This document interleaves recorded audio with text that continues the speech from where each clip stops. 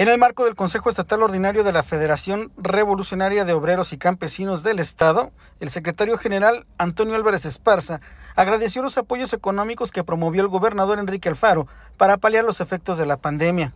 El líder sindical criticó el comportamiento del gobierno federal por descansar el trabajo de contención de la enfermedad en las entidades federativas, pero acapara las soluciones como el control de la aplicación de vacunas.